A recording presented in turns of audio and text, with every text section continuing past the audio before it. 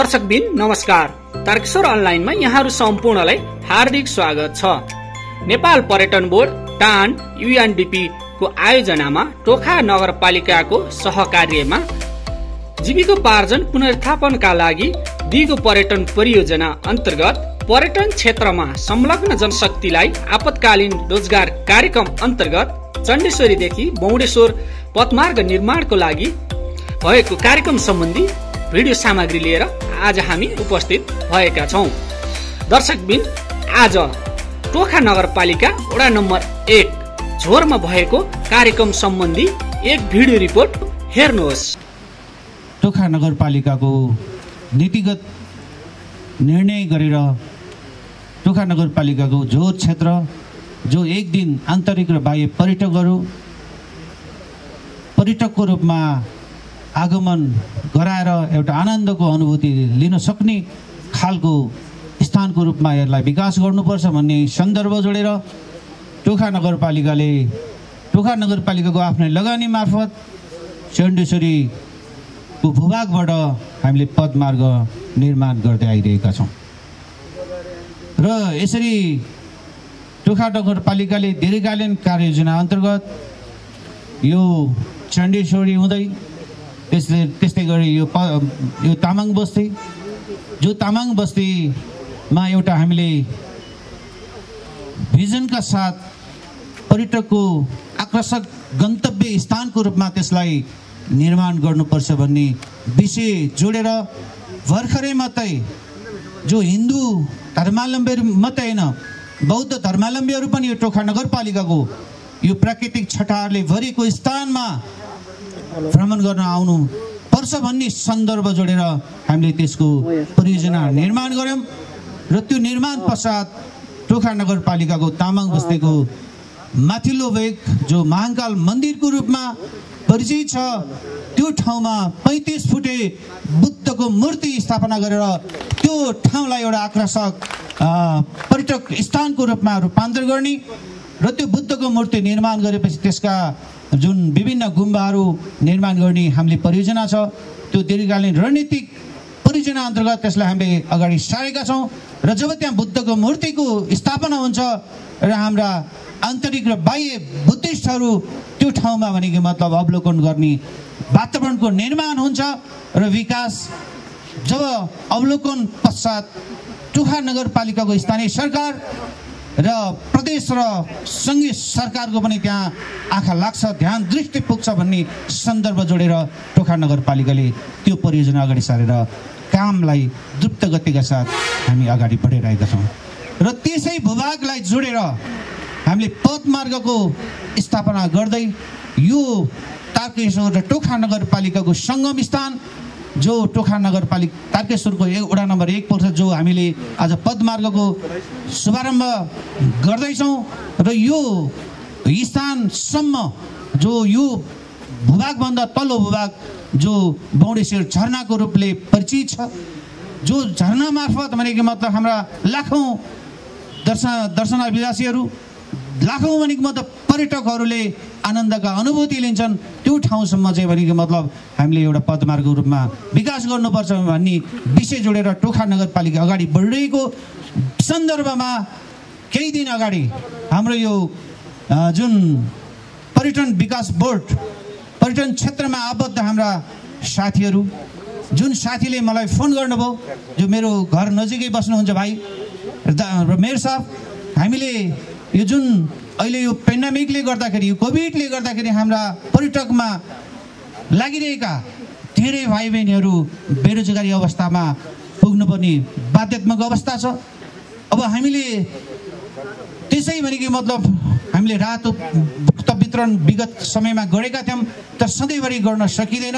त्यसकारण यो पर्यटकको एउटा प्रबन्धन हुने सम्भावना पनि जुन यो कार्यक्रमले के नतिजा निकाल्छ त्यसकारण ती भाइ बहिनीहरूलाई जुन श्रममा लगाएर उहाँहरूलाई रोजगार पनि उपलब्ध हुने र एउटा पर्यटकीय गन्तव्य स्थानको पनि निर्माण हुने भएको कारणले गर्दाखेरि टुखा नगरपालिकामा त्यस्तो सम्भावना भएको ठाउँ कहाँ छ? पर्यटक यो पदमार्ग बनाउने कहाँ छ भनेर उहाँले जुन मलाई आग्रह गरेपछि मैले यस्तै गरी भनेकोमा टोखा नगरपालिकाको जो यो झोरमा एउटा पर्यटक स्थलको रूपमा रूपान्तर गर्नको लागि अहोरात्र खट्नुहुने हाम्रा वडाध्यक्ष सदस्यहरू यहाँका राजनीतिक दलका मित्रहरू दाजुभाइ दिदीबहिनीहरू जुन हुनुहुन्छ र विशेष गरी ती सम्पूर्णको प्रतिनिधित्व हाम्रो टोखा नगरपालिकाको वडा नम्बर एकका वडाध्यक्षले गरिरहनु भएको छ र मैले वडाध्यक्षको फोन नम्बर उहाँलाई दिएर यसरी भनेको मतलब तपाईँ यो कार्यक्रमको वातावरण निर्माण भयो र हाम्रो आग्रहलाई जुन यो बोर्डले स्वीकार्यो र आज भनेको मतलब एक सय लगभग अट्ठाइस तेइसजना भाइ बहिनीहरू जुन हाम्रो टोखा नगरपालिकाको पदमार्ग निर्माण गर्नेको लागि जुन उहाँहरू आउनुभएको छ म सम्पूर्ण भाइ बहिनीहरूलाई धन्यवाद पनि दिन चाहन्छु। अब यो कार्यक्रमको बारेमा विशेष गरी यहाँ अघि धेरै अनौपचारिक कुराहरू हामीले छलफलमा उठिसकेका छन्। हामीले यो तेह्र किलोमिटर पद मात्र मा मार्ग तयार गर्दाखेरि यहाँ केही कुराहरू केही नियम कानुनका कुराहरू पनि आउन सक्छन्। हामीले यो पदमार्ग साँच्चीकै हाम्रो ओडा र यो बफरजन यो राष्ट्रिय निकुञ्जको एउटा धेरै वर्ष अगाडि बनेको एउटा पर्खाल छ। त्यो पर्खालको छेउछेउबाट बनाउनेछौँ। धेरै ठाउँहरू पर्खालको छेउमा पर्ने कारणले गर्दाखेरि पक्कै पनि राष्ट्रिय निकुञ्जमा दखल पुने प- गरी र धक्का पुने गरी हामीले केही पनि काम गर्न हुँदैन। आदरणीय मजदुर साथीहरूलाई म के भन्न चाहन्छु भने तपाईँहरूले यो काम गरिरहँदाखेरि कुनै पनि बोट बिरुवाहरू नकाटिदिनु होला। यदि बोट बिरुवाहरू काट्नु पर्यो भने तपाईँहरूको टिम लिडरसँग अनुरोध गर्नुहोला र टिम लिडरले हामीसँग समन्वय गर्नुहुन्छ र हामी राष्ट्रिय निकुञ्जसँग समन्वय गरेर त्यस्ता रुखहरू काट्नु पर्ने रहेछ भने त्यसका अर्कै प्रावधानहरू छन्। त्यतातिर हामी लागौँला किनभने हामीले काम गरिरहँदाखेरि नीति नियम र कानुनमा टेकेर कानुनको परिधिमा रहेर काम गर्नुपर्ने भएको कारणले गर्दा र यो राष्ट्रिय निकुञ्जको छेउमा रहेको कारणले गर्दा तपाईँहरूले चुरोट बिँडी खानुहुन्छ भने त्यो पनि कृपया यो काम गर्ने अवधिभरि नखाइदिनु होला किनभने निकुञ्जको छेउछाउ चुरोट खान पाइँदैन। यो कुरा पनि हेका राखिदिनु होला भन्ने अनुरोध गर्न चाहन्छु र यो अन्तमा फेरि यो कार्यक्रम लगायत अरू यस्ता कार्यक्रमहरू पर्यटनसँग सम्बन्धित विभिन्न कार्यक्रमहरू छन्। ती कार्यक्रमहरू लिएर आउँदाखेरि पोखा नगरपालिका वडा नम्बर एक सिङ्गो जनप्रतिनिधि मात्रै होइन। त्यहाँ रहेका विभिन्न राजनीतिक दलका दलीय साथीहरू र सामाजिक अभियन्ताहरूले पनि त्यसलाई सहर्ष स्वीकार्ने छन् भन्ने कुराहरू कुराको अवगत अवगत गराउँदै आगामी दिनमा पनि यस्ता पर्यटनसँग सम्बन्धित कामहरू लिएर आउनको लागि विशेष पहल गरिदिनु हुन आदरणीय मेयर प्रकाश अधिकारीज्यूलाई हार्दिक अनुरोध गर्दै तारकेश्वर नगरपालिका वडा नम्बर एकको तर्फबाट यहाँहरूलाई न्यानो अभिवादनसहित नमस्कार टक्राउन चाहन्छु। वास्तवमा हामी आज धेरै खुसी लागेको छ मलाई।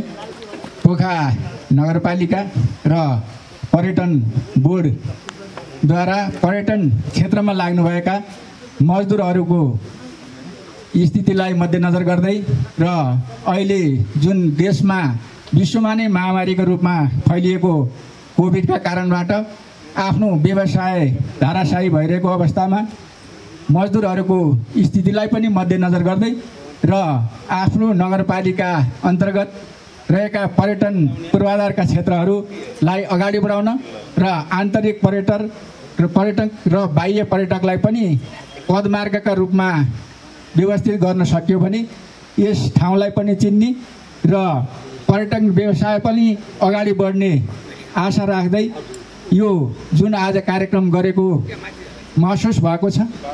यसका लागि म यहाँहरूलाई धेरै धेरै धन्यवाद दिन चाहन्छु।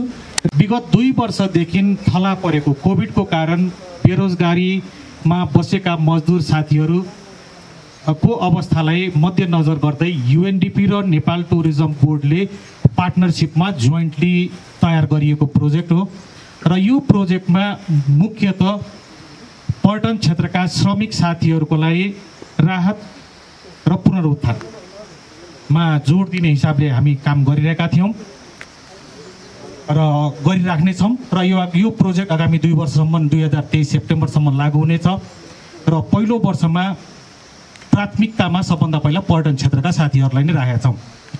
र यही क्रममा हाम्रा साथीहरू पर्यटन क्षेत्रका सम्पदाहरूलाई जोगाउँदै आन्तरिक पर्यटक र बाहिरीय पर्यटनहरूलाई बाटोघाटो निर्माण हेरिटेज साइट्सहरूको मेन्टेनेन्स अपकिप सरसफाइ अभियान पुल पुलेसाहरू निर्माण गर्ने र त्यो गर्दासँगै आफ्नो रोजगारी पनि केही पाउन् भन्ने उद्देश्यले निर्मा यो डिजाइन गरिएको प्रोजेक्ट हो।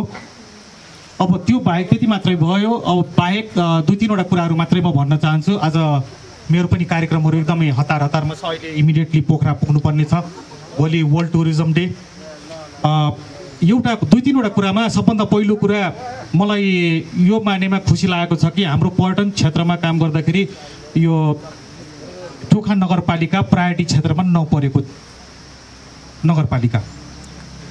तर मलाई खुसी केमा लाग्यो भन्दाखेरि यही क्षेत्रका साथीहरूले उत्सुकता साथ हाम्रो क्षेत्रमा पनि आन्तरिक पर्यटनको लागि धार्मिक पर्यटनको लागि पद निर्माण गर्नुपर्ने आवश्यक देखियो। भनेर उत्सुकता साथ आउनु हुँदाखेरि मलाई धेरै खुसी लाग्यो। र त्यो सँगसँगै केमा खुसी थपियो भन्दाखेरि ल त्यसो भए तपाईँहरू साथीहरू आउनुहुन्छ भने म सहयोग गर्न तयार हुन्छु र नगरपालिका वडासँगै साथमा हामी सहकार्य गर्न तयार इच्छुक हुनुहुन्छ भने उहाँहरू जतिसुकै चाँडो ल्याउनुहुन्छ म त्यति छिटो प्रो प्रोग्रामलाई अप्रुभल गरेर अगाडि बढाउन सक्छु भन्ने हिसाबमा लगभग यो चार पाँच दिन एक हप्ताभन्दा बढी भएको छैन कुराकानी छलफल भएको। र अहिलेको कार्यक्रममा नगरपालिकाको तर्फबाट सम्पूर्ण औजारहरू उहाँहरूले प्रदान गर्नुभएको छ। त्यसको लागि म आभार व्यक्त गर्न चाहन्छु। दोस्रो कुरा अहिलेसम्म हामी लगभग एघार सय मजदुरहरू नगरपालिका मार्फत र विभिन्न टानका क्षेत्रगत मार्फत होटल एसोसिएसन मार्फत नाटाको त सुरु हुन बाँकी छ। आजदेखि नारा मार्फत पर्यटन मजदुरहरूलाई भोटेकोसीमा सुरु हुँदैछ। भोलि त्रिशुलीमा सुरु हुन्छ। पोखरामा पनि सुरु भइसक्यो। र नौवटा सातवटा जिल्लामा अझै सुरु हुन बाँकी छन्। अहिलेसम्मको कार्य सम्पादन र मूल्याङ्कन गर्ने हो भने हामीले एकदम उत्साहपूर्ण र पर्यटन क्षेत्रका साथीहरूले एकदम राम्रो काम गरिराख्नु भएको छ। त्यो भावनालाई त्यो विचारलाई मेन्टेन गरिदिनु होला अझ त्योभन्दा राम्रो गरिदिनु होला।